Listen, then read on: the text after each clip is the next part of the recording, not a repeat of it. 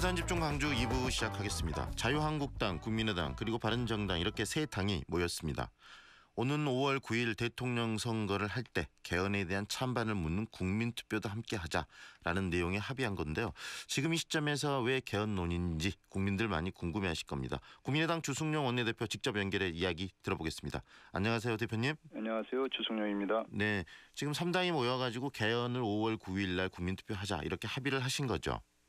예, 의견을 모았죠. 네. 네. 지금 이렇게 5월 9일 날 개헌을 국민투표를 해야 될 뭐 이유가 있을까요?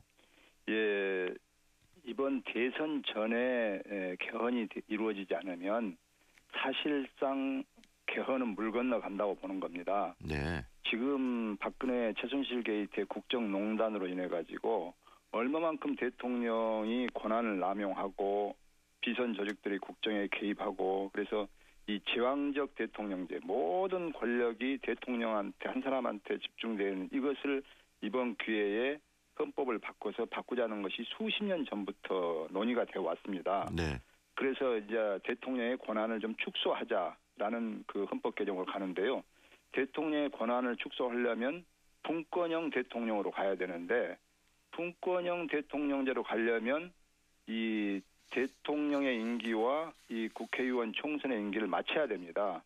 그렇게 되면 다음 음, 이 헌법이 적용되는 시점이 2020년 5월이 됩니다. 국회의원 임기가 끝나는. 네. 그렇게 된다면 새로운 대통령의 임기는 거의 3년 남짓밖에 임기가 안 됩니다. 네. 그러니까 새로운 대통령이 5월 9일 날 임명 선출되면 어느 대통령이 자기 임기를 단축시켜 하면서 개헌을 하려고 하겠습니까? 네. 그래서 지금 문재인 대표나 이런 분들께서 내년 지방선거 때까지 대선 끝나고 나서 1년 후에 하겠다라고 하는데 사실 지금까지 역대 대통령 모두 개헌하겠다고 했습니다마는 개헌을 못했지 않습니까? 네.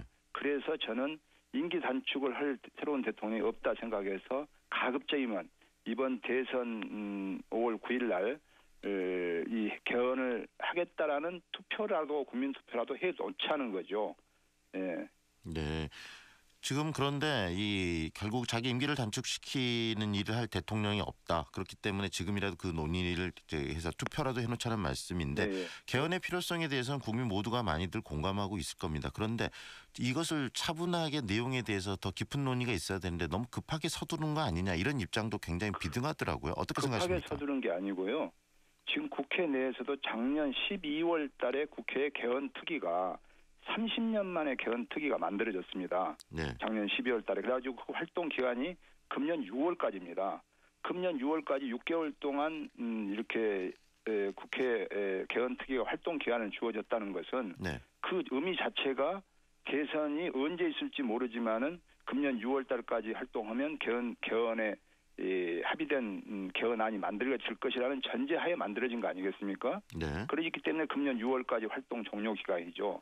그랬는데 지금까지 지지부진하게 해 오다가 그나마 이것은 개헌 문제는 300명의 국회의원 중 200명 이상이 찬성을 해야 되기 때문에 네. 어느 정당끼리 이렇게 합의가 되는 게 아니고 국회의원 한 명한 명이 다 입법기관이기 때문에 네. 200명 이상이 찬성해야 된다는 것은 전 당, 어, 정당이 다 참여해야, 찬성해야 가능하다는 뜻으로 지금 해석을 할 수 있습니다. 네. 그런데 지금 국민, 민주당에서 문재인 대표가 반대를 하기 때문에 문, 민주당 의원들 개개인을 만나보면 다 개헌의 필요성에는 찬성하는데 네. 대선 끝나고 보자는 식입니다.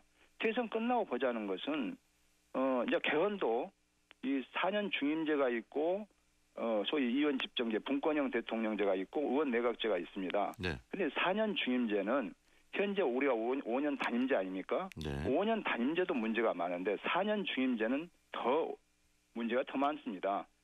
그렇기 때문에 지금 국회의원 대부분이 분권형 대통령제, 네. 대통령의 권한을 축소하는 분권형 대통령제로 가려고 하는데 네. 분권형 대통령을 하려면 아까 같이 임기 단축이 불가피하기 때문에 네. 우선 지금 대통령 되고 보자는 식으로 이렇게 한다면 저는 대선 끝나고 나면 다시 경제가 어렵니 민생이 어렵니 해가지고 네. 새로운 대통령이 안 챙겨버리면 의원들도 거기에 눈치 볼 수밖에 없기 때문에 사실상 개헌은 이번에도 또 물 건너 간다 이렇게 보기 때문에 가급적 좀 대선 전에 해야 되고 네. 왜 해필 이 시기냐라고 하지만은 네. 이 시기는 다음 주까지 서명 작업을 해서 국회 본회의에 발의하지 않으면 그 공고 기간이 또 20일이 있고요. 네. 하기 때문에 대선 전에 이 국회 내에서 표결하는 물리적 그 데드라인이 어렵습니다. 다음 주가 넘어가면 현실적으로 대표님 지금 국회에서 이것이 투표를 통해서 그 이거 충분히 이게 통과가 될 수 있을까요? 더불어민주당이 반대하고 있는 이 아니 시점에서. 그래서요. 네. 그래서 저희 국민의당을 비롯해서 민주당 내에서도 개헌을 찬성하는 분들이 많이 계십니다.